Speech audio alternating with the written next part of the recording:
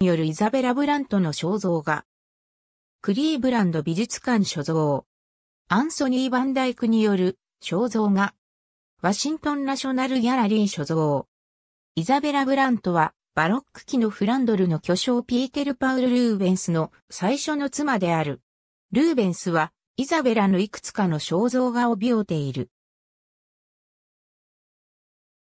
イザベラは、アントウェルペンの重要な市の職員であるヤン・ブラントと、ヘンドリック・ドモイの娘クララ・ドモイの長女として生まれた。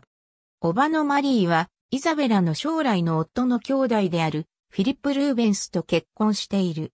イザベラは1609年10月3日に、アントウェルペンの聖ミカエル修道院で、叔父の兄弟ピーテル・パウルと結婚した。彼らには3人の子供、クララ、ニコラース、アルベルトが生まれた。ペストが原因で死去した時、彼女は34歳だった。ヤン・ブラント、クララ・ドモイと結婚。ルーベンスの助手であった画家アンソニー・バンダイクによる彼女の肖像画に加えて、ルーベンスによるブラントのいくつかの絵画と彼女の一つの重要な素描が彼女の姿を現代に伝えている。1977年、イザベラを描いた絵画がアンギラの切手に登場している。ありがとうございます。